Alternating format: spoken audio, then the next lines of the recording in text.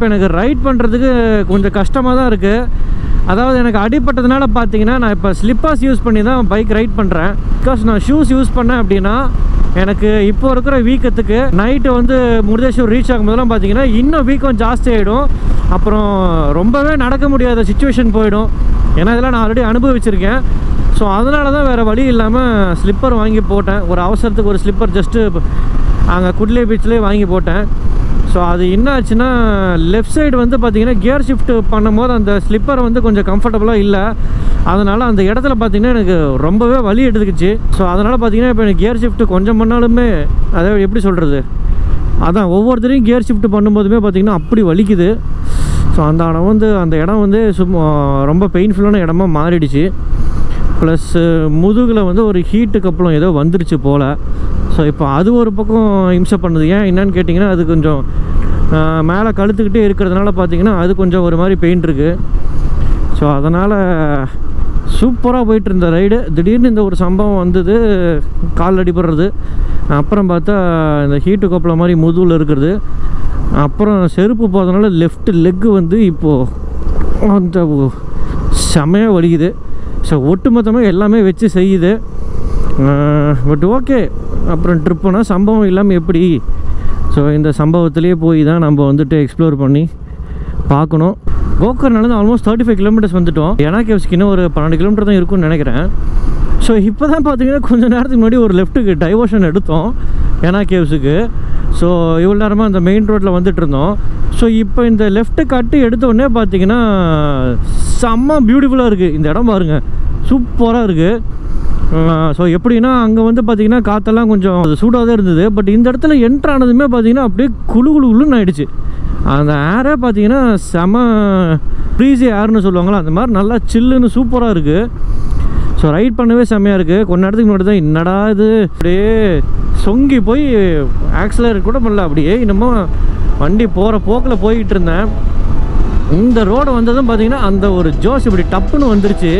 So அதுதான் பார்த்தீங்கன்னா இந்த நேச்சுரலில் இருக்க அட்வான்டேஜே அப்படி தான் ஸோ நம்ம இந்த மாதிரி ரொம்ப நேச்சுரல் பிளேசஸில் வந்து நீங்கள் ரைட் பண்ணும்போது இன்னும் கஷ்டம் என்ன இருக்கட்டுமே. அந்த ரைடில் வந்துட்டு நம்ம எவ்வளோ டிஃபிகல்ட்டிஸ் அனுபவிச்சாலும் அந்த டெஸ்டினேஷனுக்கு போகும்போது பார்த்தீங்கன்னா அந்த வர்ற சந்தோஷம் இருக்கு இல்லையா? அது பார்த்தீங்கன்னா எதுக்குமே எப்படி சொல்கிறது ஈடு இணையே இல்லை அப்படின்னு சொல்லலாம்னு வச்சுக்கோங்களேன். ஏன்னா அந்த அளவுக்கு ஒரு ஹாப்பினஸ் இருக்கும். நம்மளோட மைண்ட் ஸ்ட்ரெஸ்ஸு இல்லை difficulties whatever it is எல்லாமே அப்படியே ஜஸ்ட் லைக் தூசு மாதிரி பறந்து போயிடும்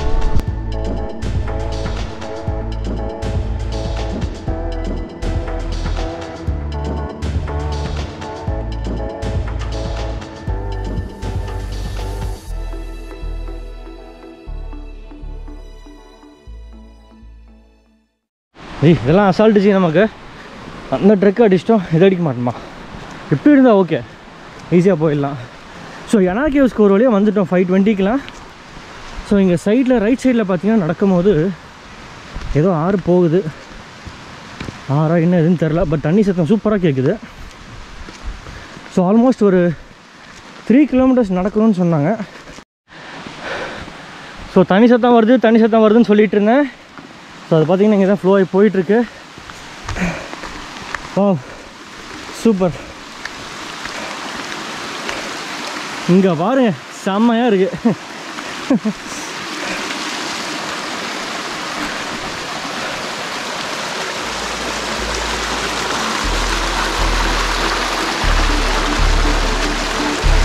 சூப்பராக இருக்கு.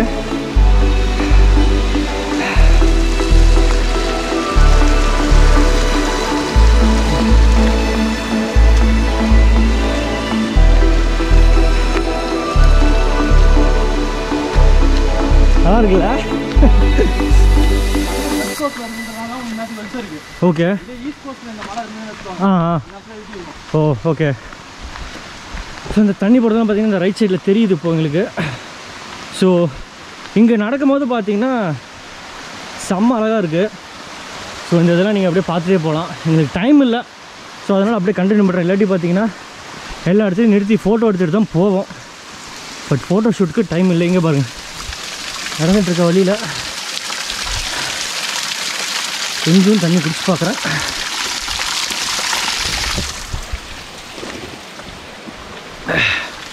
சூப்பராக இருக்குது தண்ணி. போகும்போது பாட்டிலில் பிடிச்சிட்டு போயிடலாம்னு நினைக்கிறேன். இதோ இங்கே பாருங்கள் சிறப்பு. நடக்கிற வழி வந்து சூப்பராக இருக்குது பட் அங்கே போகிறதுக்கு தான் இன்னும் எவ்வளோ நேரம் ஆகும்னு தெரியல. ஓகே வந்துட்டோம் இங்கே பாருங்கள் ஸோ ஏன்னா கேவ்ஸ் கேவ்ஸ் சின்னதானம்மா. ஆனால் உள்ளே போகிறது நல்லாயிருக்கு அப்படின்னாங்க. ஃபைவ் தேர்ட்டிக்கே டெம்பிள் க்ளோஸ் ஆகும் பட் வெளியே இருந்து பார்க்கலாம் அப்படின்னாங்க. நாங்களும் ஒவ்வொரு இடத்துலையும் வர்றவங்ககிட்ட கேட்டே இருக்கோம். எவ்வளோ நேரம்னு? தோ கிலோமீட்டர் தோ கிலோமீட்டர் அப்படின்றத சொல்கிறாங்க என்ன சொன்னாங்கல்ல ஓ. போச்சுல அப்புறம் என்ன பண்ணுறது அவங்க இதே போவோம்.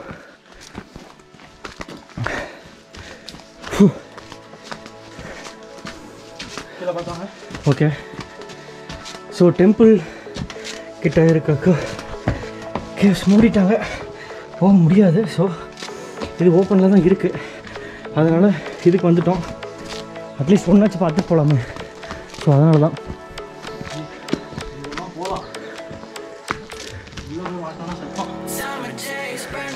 லைட் அடிங்க ஜஸ்ட் பாருங்கள்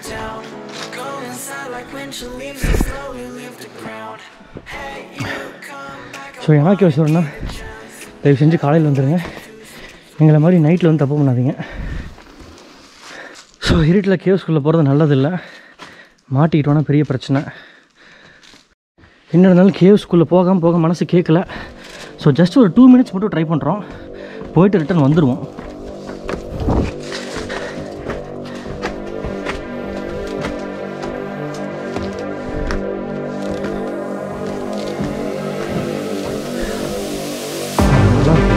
இது பெருசாக அந்த பக்கம் இல்லைன்னு நினைக்கிறேன் பெருசாக இடம். புரிஞ்சுதுல்ல? இதுக்கு வேறு யோசிச்சோம் ரொம்ப ஓகே ஓகே இது ஒரு குட்டி கேர்ள்ஸ் தான். ரொம்ப வெளியே போகிறதா அந்த ஓட்ட போனால் வெளியே போகிறது இல்லையா? அடா ஆமாம் அதெல்லாம் ஆ? அதெல்லாம் ரொம்ப சூப்பராக இருக்கும். நம்ம படம் கண்டிப்பாக செமையாக இருக்கும். ஓகே சொல்லி திரும்பிடலாம். ஸோ இது வந்து குட்டி கேர்ள்ஸ் குட்டி கேவ்ஸ். வாவ். மிஸ் பண்ணிட்டோம் but it's okay it happens part of the trip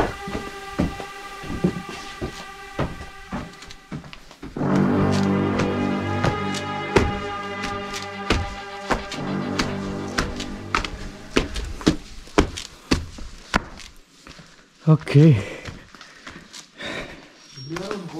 ஆ. தெரியல அது ரிஸ்க் எடுக்கணும். ஓகே. போலாமா? ம்.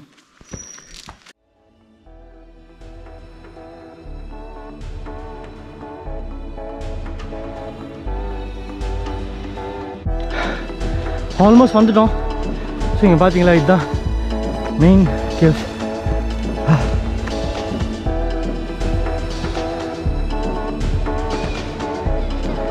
ஒரு வழியாக என்ன கேவ்ஸ் வந்துட்டோம். இதை பார்க்கணும் அப்படின்றதுக்காக எங்கேயுமே பிரேக் எடுக்கல. பிரேக் எடுக்காமல் நான் ஸ்டாப்பாக ஸ்ட்ரெச்சில் வந்துட்டோம். வறுத்து இவ்வளோ தூரம் கஷ்டப்பட்டு ட்ரெக் பண்ணி செம வறுத்து ஸோ அந்த குட்டி கேவ் செக்ஷனும் ஓரளவுக்கு பார்த்துட்டோம். ஃபுல்லாக போகல பட் அங்கே போகக்கூடிய இடம்லாம் பார்த்துட்டோம். வாவ் சாஞ்சல் சிரிச்சா செம்மையாக இருக்குது வெறித்தனம் வேறு லெவல் இந்த மாதிரி இன்னும் வேர்ட்ஸ் வேணால் சொல்லலாம்? இன்னொரு விஷயம் பார்த்தீங்கன்னா நான் எப்படி ஏறியிருக்கேன்னு பாருங்கள் ஸோ நீகாட்ஸ் இந்த நீகாட்ஸோட ரிவ்யூ கண்டிப்பாக சீக்கிரம் போடுறேன். செம்மையான நீகாட்ஸு ட்ரெக்கிங்கே இதை போட்டு வந்துட்டேன் ஆனால் கொஞ்சம் கூட டிஸ்கம்ஃபர்ட் இல்லை கேவ்ஸோட டூர் மிஸ் பண்ணியாச்சு. ஸோ நாங்கள் ஃபஸ்ட்டு போன அந்த குட்டி கேவ் செக்ஷன் கேவ் செக்ஷன் வந்து இதுதான்.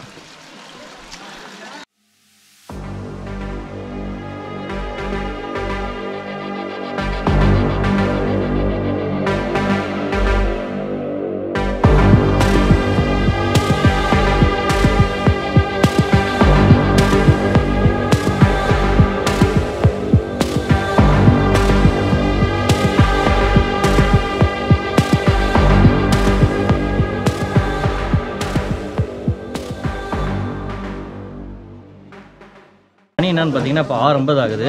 எனாகேஸ்ட் வந்து இறங்கிட்டோம். சிக்ஸ் ஃபிஃப்டீனுக்கு ஆரம்பித்தோம் so half an hour plan பண்ணோம். ஸோ அதே அந்த பிளான் பண்ண டைம் வந்துட்டோம். இன்னொரு அட்வான்டேஜ்னு கேட்டிங்கன்னா நாங்கள் நடந்து வந்துட்டு இருக்கும்போது ஒரு மூணு பேர் பின்னாடி வந்தாங்க. அவங்களும் கஷ்டப்பட்டு இங்கிலீஷ்லாம் பேசிகிட்டு இருந்தோம். அப்புறம் ஒரு நிமிஷம் கழிச்சு என்னாச்சு? அதில் ஒருத்தர் சொன்னார் அப்போ அவங்களும் தமிழ் தான் அப்படின்னு. ஏப்பா அதெல்லாம் முதலே சொல்ல மாட்டீங்களா? கஷ்டப்பட்டு இவ்வளோ தூரம் இங்கிலீஷ் எல்லாம் பேசிட்டு வரோன்ட்டு பேசிகிட்டு இருந்தோம்.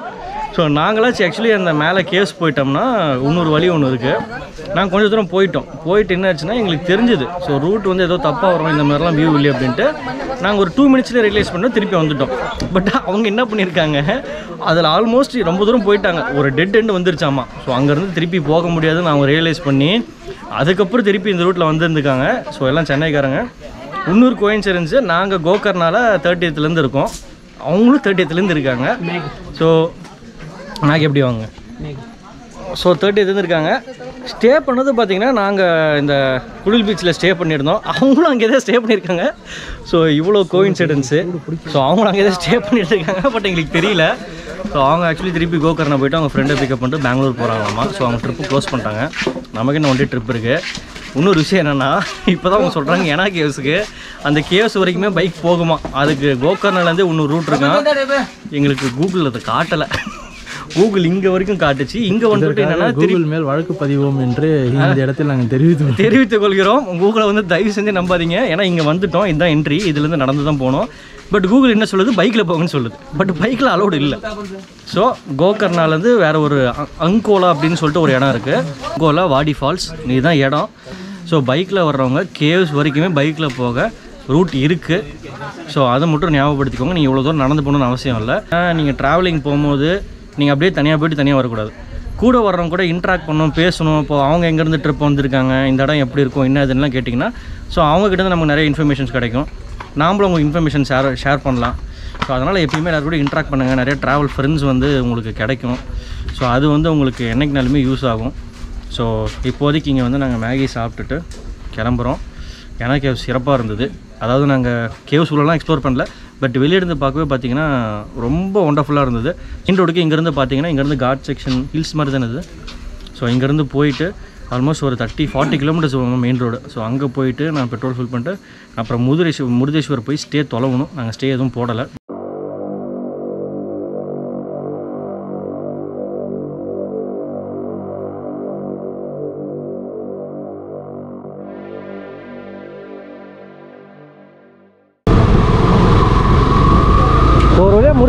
வந்துட்டோம். நாங்கள் பிளான் பண்ணது ஒம்பது மணி பக்கம் ரீச் ஆகும் அப்படின்ட்டு தான் நினச்சோம்.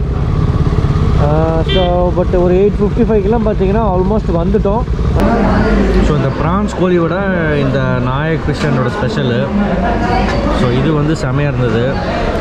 ஸோ அடுத்து பார்த்தீங்கன்னா இது வந்து அஞ்சல் ஃபிஷ்ஷு ஸோ மேங்களூர் இந்த சைட்லாம் பார்த்திங்கன்னா இந்த அஞ்சல் ஃபிஷ்ஷு முரு ஃபிஷ்லாம் ஃபேமஸ்ஸு இது வந்து அஞ்சல் ஃபிஷ் ரவா ஃப்ரை அப்புறம் குல்ச்சா இது வந்து பகடா ஃப்ரைன்னு சொல்லிட்டு. சாரி பக்ரா மசாலா இதுவும் ஃபிஷ்ஷு தான். ஸோ நாங்கள் வாங்கினது எல்லாமே ஃபிஷ் பேஸு தான். ஃபிஷ்ஷு சாப்பிட்றதுக்காகவே தான் ஸ்பெசிஃபிக்காக இங்கே வந்தோம். ஸோ இந்த பக்டா ஃபிஷ் மசாலா பார்த்தீங்கன்னா இது கொஞ்சம் டேஸ்ட் டிஃப்ரெண்ட்டாக இருக்குது இது வரைக்கும் இந்த மாதிரி டேஸ்ட்டில் ஃபிஷ் கிரேவி பெருசாக நான் சாப்பிட்டதில்ல. எல்லாமே சூப்பராக இருக்குது இப்போ ப்ரான்ஸில் பார்த்தீங்கன்னா ப்ரான்ஸில் நெக்கிள் ஃப்ரை ஒன்று சொல்லியிருக்கேன். ஸோ அது மட்டும் டேஸ்ட் பண்ணோம். இப்போ வந்த வரைக்கும் டேஸ்ட் பண்ணது பார்த்தீங்கன்னா எல்லாமே சூப்பர் ப்ளஸ் டேஸ்ட்டும் பார்த்தீங்கன்னா யூனிக்காக இருக்குது முக்கியமாக இந்த ப்ரான்ஸ் கோழியோட செமையாக இருக்குது ட்ரை பண்ணுங்கள் அஞ்சல் ரவா ஃப்ரையும் சூப்பராக இருக்குது அப்படின்னு பார்த்தீங்கன்னா முருதேஸ்வரோட கோபுரத்துக்கு வந்தீங்கன்னா கோபுரத்துலேருந்து லெஃப்ட் எடுக்கணும்.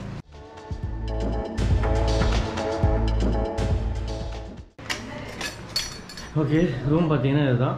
ஆயிரத்தி அறுநூறு ரூபாய். ஸோ நான் ஏசி ரூமு ஸ்பேஸ் எல்லாம் ஓகே பாத்ரூம் முக்கியமான விஷயம்.